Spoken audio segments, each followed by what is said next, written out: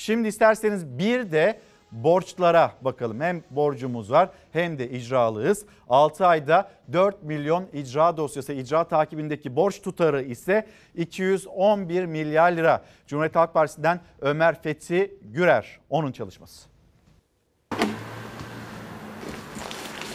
İcra dosyaları yığın yığın azalmıyor aksine artıyor. Borç batağı her geçen gün büyüyor. Milyonlar icra takibinde. İcra dosyası sayısı 22 milyonu aştı. İlk 3 ayda ise 478 bin kişi hayatında ilk kez kredi çekti. Bunlar icra belgeleri. CHP Niğde Milletvekili Ömer Fethi Gürer paylaştı verileri. 24 Mayıs'ta 209 milyar 415 milyon lira olan takipteki borç tutarı bir haftada 1 milyar 628 milyon lira artarak 211 milyar 43 milyon liraya yükseldi. Yılın başında bu rakam 192 milyara yakındı. Yani yılbaşından bu yana 19 milyar 60 milyonluk borç tahsil edilemedi.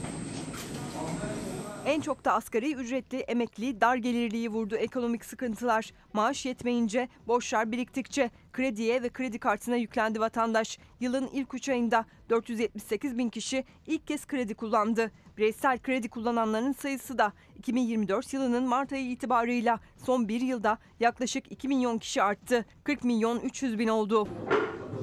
Bankalar can simidi gibi görülse de aslında kısa sürede daha büyük bir açmaza yol açtı. Alım gücü düşerken gelir gider dengesi de bozuldu. Borçları ödeyebilmek hayal oldu. Milyonlar icraya düştü. CHP'li Gürer, icra takibindeki borç tutarının 211 milyar liraya yükseldiğini söyledi.